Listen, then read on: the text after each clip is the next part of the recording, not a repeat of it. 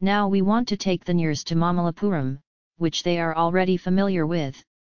It has now been over 300 years since Mahendra Palavar and Mamala Narasimha made this Taramugapatnam a dream come true with their marvellous sculptures.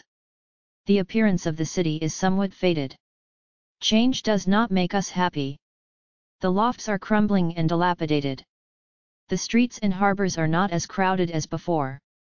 Trade growth is not so much. There are no major trade routes. All the streets are not piled up with mountains of export and import goods. We have seen before that the sea entered the earth and formed a deep channel, which was a natural harbour for ships to come and rest safely. Now the canal has been eroded by sand and the depth has decreased. Only small boats and boats can enter the shallow waters. Boats and trees should stand at some distance in the sea. Boats should be loaded with trade goods and added to the timber. It should be mentioned that Mamallapuram has achieved some new features during the above-mentioned period. Mainly the beautiful stone temple on the beach attracts our eyes and opinion. It is not like the hilltop temples built during the Mahendran Mamalan period. The temple was built by bringing stones from the hills. It looks like a beautiful crown of jewels placed on the head of Samudra Raja. Damn! What is the beauty of the temple system? Apart from this, the Vinakara temple where the three world-sized Perumal reclines in the middle of the city is also a sight to see. It was the work done by Parameswara Pallava, who raised Saivism and Vaishnavism as two eyes. Thirumangayaswar came to this temple and visited Thalasayana Perumal and sang Tamil songs that overflowed with devotion. The sun had set on the Pallava Empire in the century after the reign of Tirumangai Alwar. The excellence of Kanchi, unequaled in education has also diminished. The commercial viability of the cell-powered sea urchin also declined. But there is no shortage of amazing sculptures of that immortal city which is to give eternal fame to Tamil Nadu. The strange pictorial sculptures carved into the rock walls and the Vimana raths carved into the hills are as fresh today as they were when they were erected 300 years ago. There were more people who came to admire the sculptural treasures than the traders who came to export goods. Through the streets of Mamallapuram a beautiful Vimana chariot was driven by two horses.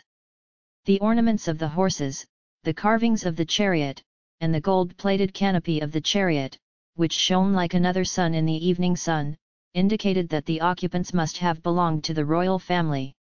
Yes, three royals were sitting in the spacious interior of that golden chariot.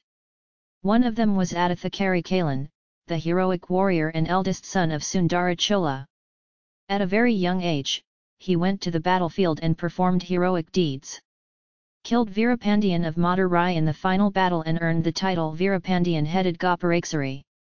Soon after Veerapandian reached the heroic heaven and the Pandian country came under the Chola Empire, Sundarakalar fell ill. Aditha Kari Kalan himself was the one who deserved the next title, and Yuvarajya gave him Patabhishekam.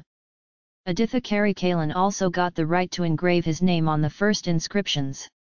Later, Aditha Kalan travelled to Vadanadu in order to completely free the throat Mandal from the domination of the dual Mandal Kanara god. He performed heroic deeds there and on many battlefields.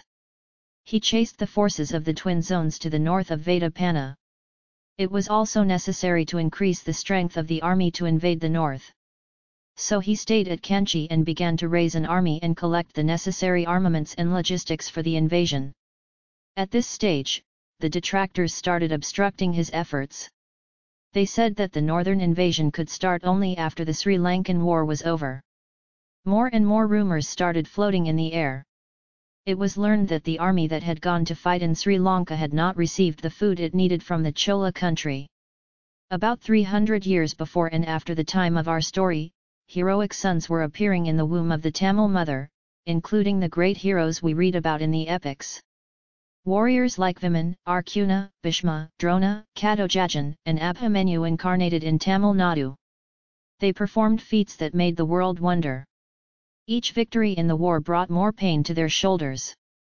Old men had the strength to move the mountain.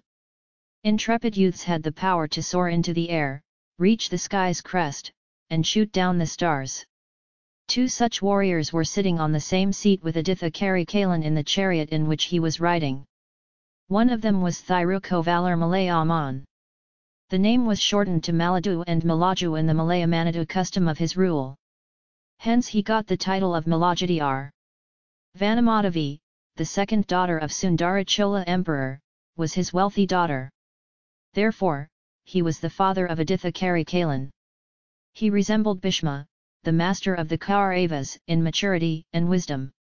Although Aditha Karikalan had great devotion to him, his wisdom sometimes tested the patience of the heroic prince.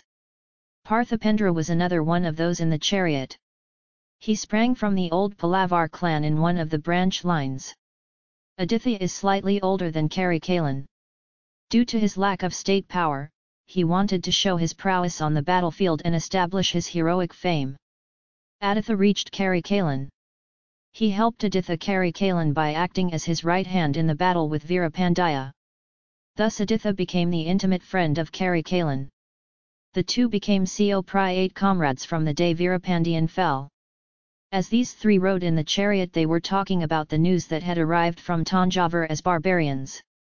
I cannot tolerate the arrogance of these traitors for a moment. Day by day they are crossing the line. How arrogant must they be to accuse my messenger of oneness? They promised a reward of a thousand gold to those who capture him? How can I bear all this? My sheathed sword has bowed in shame. You preach patience. Said Aditha Karigalan. I did not preach patience.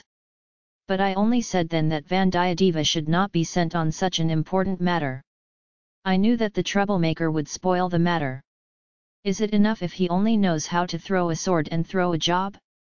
He who goes on a royal mission must have intelligence. He said. Parthipendra. Prince Karikalan's admiration for Vandiyadeva is not appreciated by Parthibendra. He always complains about him. He finds fault in anything he does. So on this occasion also he accused the same. Have you started your story?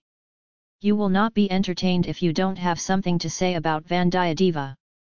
If he doesn't have intelligence, who else has? Somehow, somehow, he has carried out my order to deliver the leaf to the emperor in person. So the pundits are angry. What is Vandiyadeva's fault in this? Asked Aditha Karigalan. He would not have stood by what you sent him. He would have interfered in other undesirable matters. Said Parthipendra. Shut up. Grandfather. Why are you so silent? What do they think? What if a huge army was gathered and the emperor was brought back from Tanjavur to Kanchi? How many days do we have to watch the emperor being kept as if he were in prison by the evildoers? How many days do we spend in fear of the evildoers? Aditha Karigalan roared. Having seen 66 battlefields in his lifetime, Thirukovalar Malayaman, Malajidiyar, cleared his throat to reply. By this time the waves of the sea could be seen opposite, and he said, Let us first get off this chariot, brother. Let us go and sit in the usual place and talk. Am I not old? It is not easy to talk in a moving chariot.